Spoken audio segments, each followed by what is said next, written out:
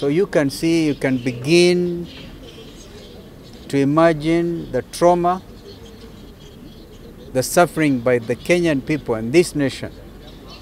As we speak, we have a nation that is deeply troubled, deeply insecure.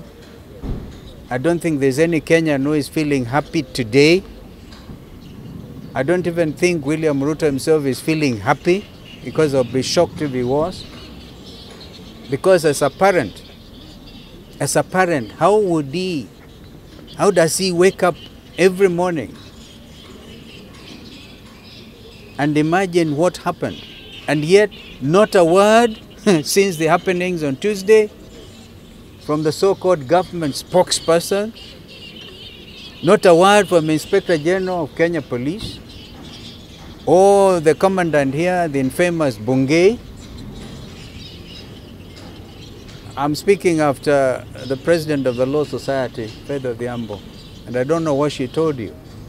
But in my view, as senior counsel, we're going to document every case, perhaps even revisit the International Criminal Court, and, and this time talk to them about the atrocities committed against the Kenyan people by a regime which is heartless, which caused its own citizens traitors, I mean, they're committing treasonous, what was it, treasonous acts. And we are yet to be told who are the financiers of this very organic youth movement, organic, in their thousands, and they just want to claim their country back. This is not the country our forefathers fought for. And I want to look at William Ruto in the face. I hope he's looking at me.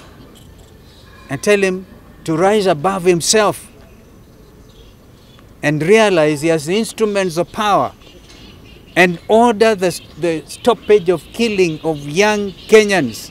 Mm.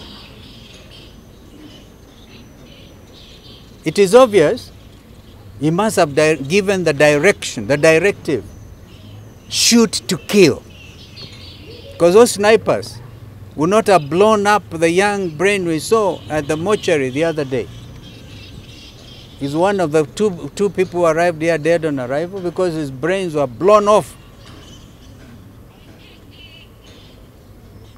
So this cannot continue. In a democracy, it cannot continue. And by the way, I want to ask William, is this a democracy or a military dictatorship?